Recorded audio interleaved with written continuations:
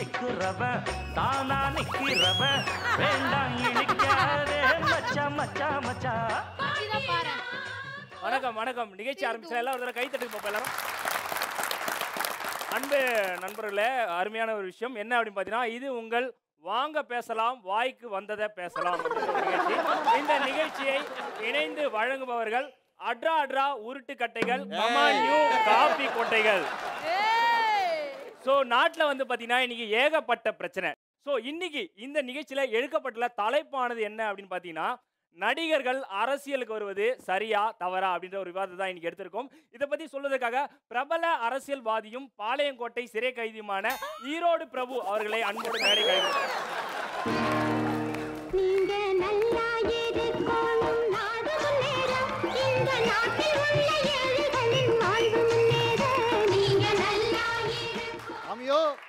நீங்க தான் என்ன காப்பாத்தணும். ஆக்சுவலாக சொல்லணும்னா நீங்க கேமியோ நீங்க தான் எங்களை காப்பாற்றணும் ஸோ அதாவது இன்றைக்கு இந்த வாங்க பேசலாம் வாய்க்கு வந்ததை பேசலாம் அதில் எடுத்துக்கொண்டிருக்க தலைப்பு என்ன அப்படின்னு பார்த்தீங்கன்னா ஐயா நடிகர்கள் அரசியலுக்கு வருவது சரியா தவறா? இதை நீங்க வந்து எப்படி இதோட கருத்து என்ன? நீங்க எப்படி பாக்குறீங்க இந்த விஷயத்தை? தம்பி.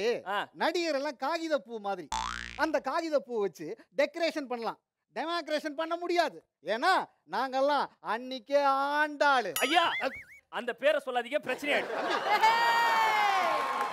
நாங்கெல்லாம் அன்னைக்கே ஆட்சி செஞ்ச ஆளுன்னு சொல்ல வந்தேன். ஆட்சி செஞ்சாலும் சொல்ல வரீங்களா? அப்போ நடிகர்கள் வந்து நீங்க ஆட்சி செய்யறதுக்கு சரியில்லைன்னு சொல்ல வரீங்க இல்லையா? அதை நான் சொல்லப்பா கூத்தாடிகளுக்கு எதுக்கு ஆட்சின்னு சொல்ல கூத்தாடிகளுக்கு எதுக்கு ஆட்சியா? ஐயா புரட்சி கலைஞர் எம்ஜிஆர் அவர் ஒரு நடிகர் அவர் ஆட்சி செய்யலையா?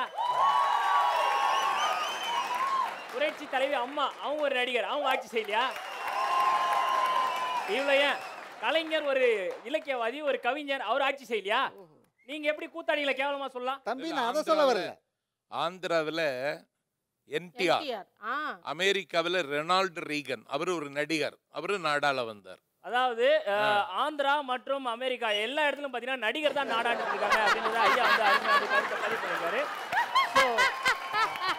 அமைதி அமைதி. அமைதி அமைதி இல்ல இல்ல. இப்ப அண்ணனை வந்து எப்படி ஆகிட்டான் அவன் அந்த நாலு பேர் சேர்ந்து பேசுவாங்கல்ல அது ஒருத்தர் ஆக்கி விட்டாங்க தம்பி நான் என்ன சொல்ல வரேன்னா நடிகர்கள். சட்டையை கழட்டிட்டு சண்டை போடலாம். சட்டமன்றத்துல பேசலாமா? டடங், டடங், டடங், காதல் பிரச்சனையை பேசலாம். காவேரி பிரச்சனையை பேச முடியுமா. மொத்தத்துல நடிக்கலாம். ஆனா நாட்டை ஆளணும்னு நினைக்கலாமா?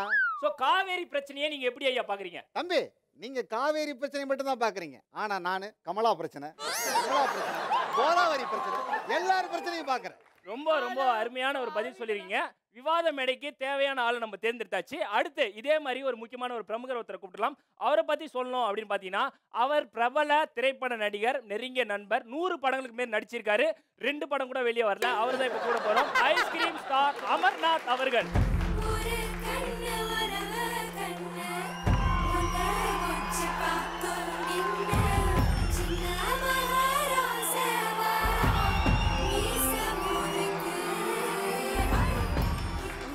பார்க்க அழகா இருக்கப்பா படத்துல நடிக்கிறியா?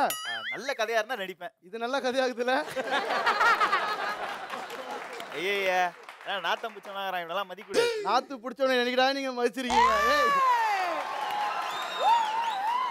வருக வருக வென்று வரவேற்கிறோம். ஸோ ஐஸ்கிரீம் ஸ்டார் அமர்நாத் அவர்கள் அருமையான கருத்துக்களை பதிவு பண்ணியிருக்காரு. தேங்க்யூ சார் ஸோ முதல் முதல்ல இந்த நிகழ்ச்சிக்கு வரவேற்கிறோம். ஸோ என்ன இங்கே விவாதத்துக்குரிய தலைப்பு என்ன பார்த்தீங்கன்னா நடிகர்கள் அரசியலுக்கு வருவது சரியா தவறா அப்படின்றத பார்த்துட்டு இருக்கோம்.